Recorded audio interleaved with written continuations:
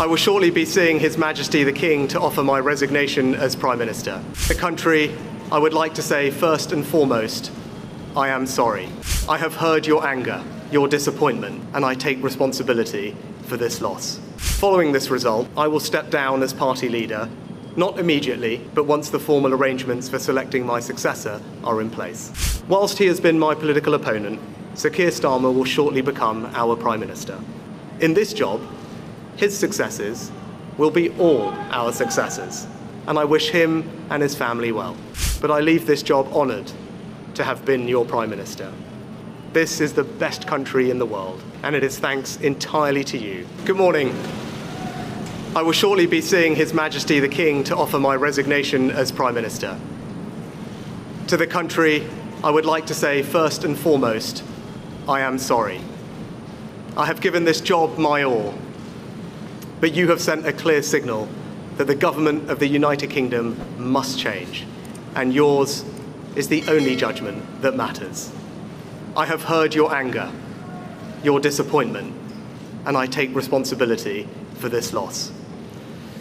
To all the Conservative candidates and campaigners who worked tirelessly but without success, I am sorry that we could not deliver what your efforts deserved.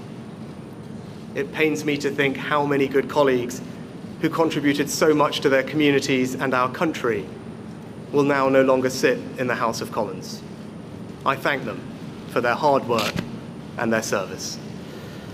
Following this result, I will step down as party leader, not immediately, but once the formal arrangements for selecting my successor are in place. It is important that after 14 years in government, the Conservative Party rebuilds, but also that it takes up its crucial role in opposition professionally and effectively. When I first stood here as your Prime Minister, I told you the most important task I had was to return stability to our economy. Inflation is back to target, mortgage rates are falling, and growth has returned. We have enhanced our standing in the world, rebuilding relations with allies, leading global efforts to support Ukraine, and becoming the home of new generation of transformative technologies.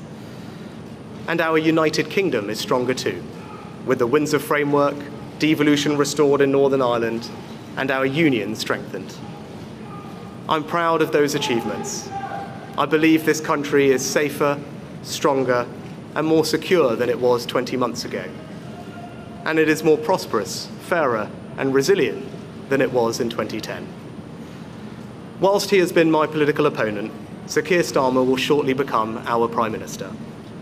In this job, his successes will be all our successes, and I wish him and his family well. Whatever our disagreements in this campaign, he is a decent, public spirited man who I respect. He and his family deserve the very best of our understanding as they make the huge transition to their new lives behind this door, and as he grapples with this most demanding of jobs in an increasingly unstable world. I'd like to thank my colleagues, my cabinet, the civil service, especially here in Downing Street, the team at Chequers, my staff, CCHQ, but most of all, I'd like to express my gratitude to my wife Akshata and our beautiful daughters.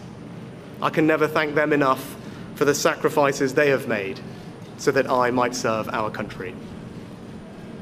One of the most remarkable things about Britain is just how unremarkable it is that two generations after my grandparents came here with little, I could become Prime Minister, and that I could watch my two young daughters light Diwali candles on the steps in Downing Street. We must hold true to that idea of who we are, that vision of kindness, decency, and tolerance that has always been the British way. This is a difficult day, at the end of a number of difficult days but I leave this job honoured to have been your Prime Minister.